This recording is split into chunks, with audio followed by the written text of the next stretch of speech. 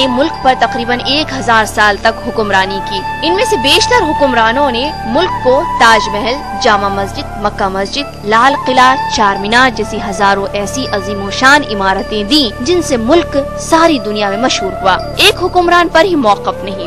امیر و عمرہ، نواب، جاگیردار و زمیندار، عہدیدار، سپاہی، ہر کسی نے اپنی استطاعت کے مطابق اللہ کی راہ میں زمین و جائیداد وقف کر دی۔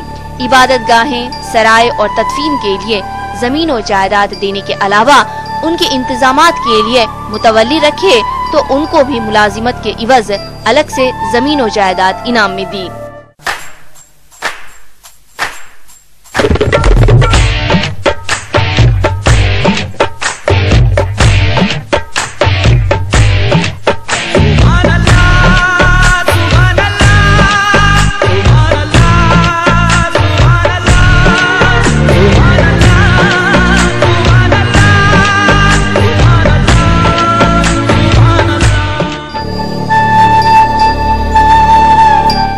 جہان فانی میں جو بھی آتا ہے گزر جاتا ہے۔ کروڑہ افراد ایسے ہیں جو گزر چکے ہیں، جن کا آج کوئی نام و نشان نہیں ہے۔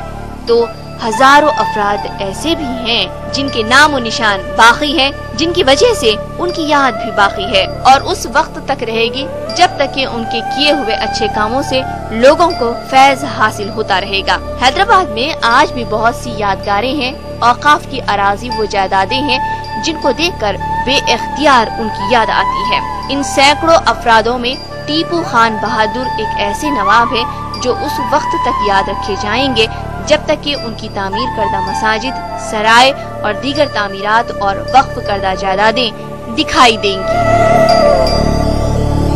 نواب صاحب محبوب علی خان کے زمانے میں نواب ٹیپو خان بہادر حیدرآباد کی عوام بلکہ دکن کی عوام کے لیے، عوام کی سہولت کے لیے بلا لحاظ مذہب و ملت کئی تعمیروں کو قائم کیے، جس میں سب سے پہلے نام پلی پہ ٹیپو کا سرائے تھا، جہاں پہ کسی بھی مذہب سے تعلق رکھنے والے کو تین دن کا قیام اور تعام کی مفت سہولت تھی۔ اور یہ سارے تعمیریں انہوں نے اپنی ذاتی پیسوں سے تعمیر کیے، جو عوامی بھلائی کے لیے قائم کیے گئے تھے، پبلک کے لیے اور دینی خدمات کے لیے بھی اپنا ایک نمایاں مقام رکھتی ہے۔ نواب ٹیپو خان بہادر مرحوم شہ سواری یعنی گھوڑے کی سواری میں ماہر تھے۔ ٹیپو خان بہادر گھوڑے پر سوار جس راہ سے گزرتے واپسی میں گھوڑے کو اسی راہ پر، اسی کے نقش قدم پر دوڑاتے ہوئے واپس لاتے تھے۔ ان کی اسی مہارت کو دیکھ کر تاجدار دکن نے اپنے شہزادوں کو گھڑ سواری سکھانے کے لیے ٹیپو خان کو معمور بخدمت کیا تھا۔ Nawab Tipu Khan Bahadur H E H Asaf Jah ششم نظام الملک نظام الدولہ نواب میر محبوب علی خان بہادر، نظام آف حیدرآباد کو گھڑ سواری سکھاتے تھے۔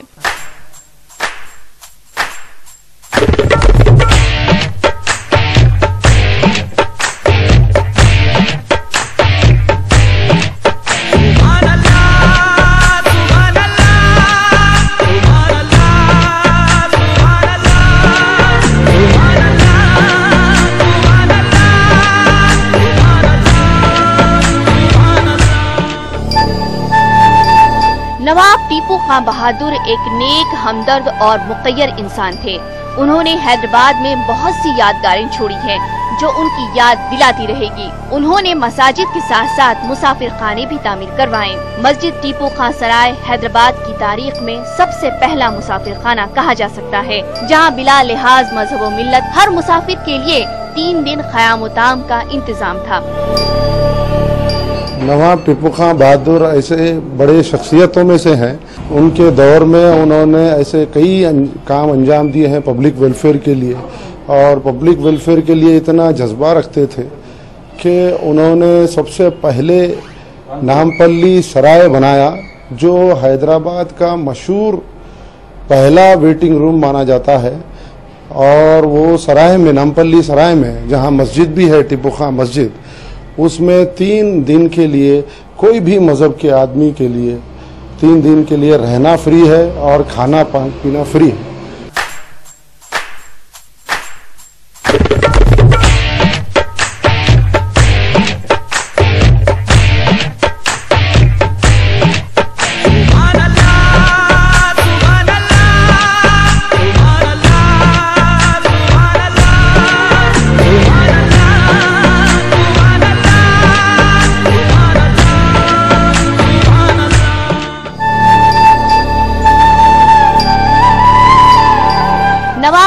نے حیدرآباد کے مختلف علاقوں میں مساجد تعمیر کروائے۔ مسجد ٹیپو خان گولی گڑا چمن، مسجد ٹیپو خان افضل گنج، مسجد اڈک میٹ عثمانیہ یونیورسٹی کے قریب واقع مسجد کی اس تصویر کو دیکھیے۔ مسجد سفید رنگ میں دکھائی دے رہی ہے۔ اب اس کو سبز رنگ میں رنگ دیا گیا ہے، تو اس کی خوبصورتی میں چار چاند لگ گئے ہیں۔ اس مسجد میں مدرسے غوثیہ قائم کیا گیا ہے۔ یہاں پر دینی تعلیم کا اچھا انتظام ہے۔ سبحان اللہ!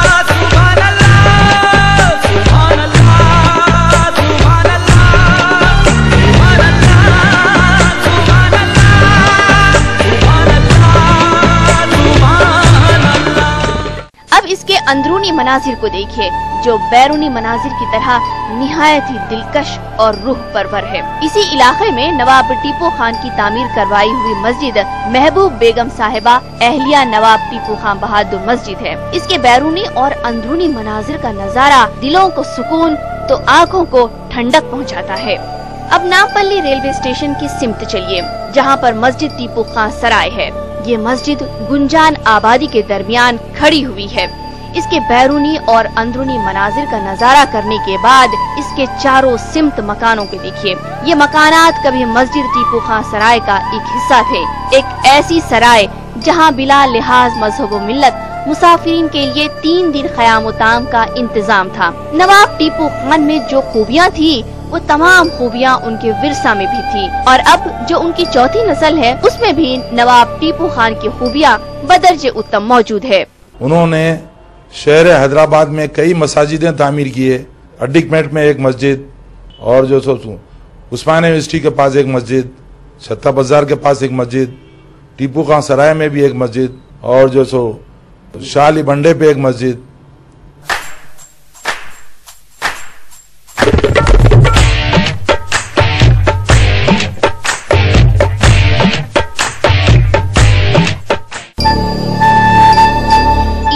ایک دوسرے سے مربوط ہو، عام و درفت کی سہولت ہو، تو شہر کی ترقی گاؤں تک پہنچتی ہے۔ گاؤں اور دیہات بھی ترقی میں حصے دار بنتے ہیں۔ علاقوں کو ایک دوسرے سے مربوط کرنے کے لیے سڑک اور پل ہی واحد ذریعہ ہوتے ہیں۔ اسی ذریعے سے گاؤں اور شہروں کے مابین عام و درفت، نقل و حرکت میں سہولتیں حاصل ہوتی ہے ایک علاقے کے لوگ دوسرے علاقے کے لوگوں سے ملتے ہیں، ایک دوسرے کے کام آتے ہیں۔ ترقی کرتے ہیں اسی نقطے کو ذہن میں رکھ کر قدیم زمانے کے حکمرانوں نے ہی نہیں، بلکہ امیر و عمرہ اور نوابوں نے سڑک، پل، سرائے، کنویں اور تالاب تعمیر کروائے۔ اور سب سے اہم چیز، ٹیپو خان برج کو قائم کیے۔ اس برج سے پہلے ان دو علاقوں کو جڑنے کے لیے کوئی جو سو ذرائع نہیں تھے، عوام اس علاقے سے اس علاقے کے جانے کے لیے بہت ساری تکالیف محسوس کرتی تھی۔ تو انہوں نے عوام کی سہولت کے لیے ٹیپو خان برج کو قائم کیا۔ جس برج پر آج تقریباً کئی سالوں سے لوگ اپنی جو سو آمد رفت کو جاری رکھے ہوئے ہیں، یہ کارنامے بہادر کے تھے۔ ان کے پوتے نواب شجاعت احمد خان نے بھی اسی روایت کو قائم رکھتے ہوئے انہوں نے اپنے، اپنا ایک ڈھنگ عوامی خدمت کا ایک جو سو طریقہ اختیار کیا۔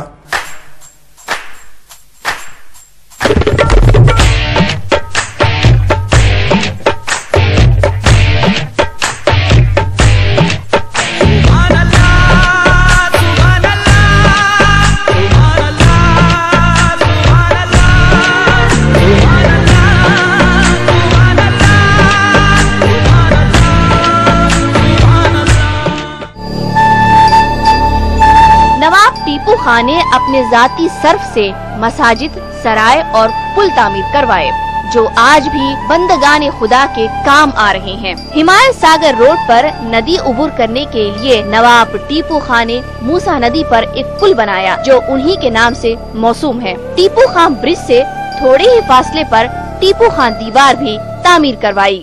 اور انہوں نے اور ایک ایک بہت بڑا کارنامہ انجام دیا ہے جو اپنے خود پیسوں سے بنوایا ہے، ٹیپو خان برج، جو ہمایت ساگر روڈ کو جاتے وقت ملتا ہے۔ ویسے اور کئی پانچ مساجد انہوں نے بنوائے ہیں اور ایسے کئی کام کیے ہیں جس کے لیے انہوں نے شہرت کے لیے اور اپنے نام کے لیے کبھی بھی کوشش نہیں کی۔ اور ہم ان کی نسل میں سے اور ان کے پڑپوترے ہونے کے ناطے اتنا فخر محسوس کرتے ہیں کہ ہم چاہتے ہیں کہ اگر ہم ان کا نام اونچا نہیں کر سکے تو ہم کم سے کم ان کا نام نیچا کرنے کا کوئی حق پیدا نہیں ہوتا۔ ایسے بہت کم شخصیت ہے جو نظام کے دور میں جو اتنا، اتنے پبلک ویلفیئر کے لیے اور ہر ہر جو غریب آدمی ہیں ان کے لیے وفق وفق وفق مدرسے بنوائے، مسجدیں بنوائے ہیں اور اپنے نام کے لیے کبھی پیچھے نہ ہٹے۔ اور ہم کوشش کرتے ہیں کہ ان کا نام باقی رہے اور ان کے کام کے، ان وہ انہوں نے جو کام کیا اس کو آگے بڑھاتے رہیں۔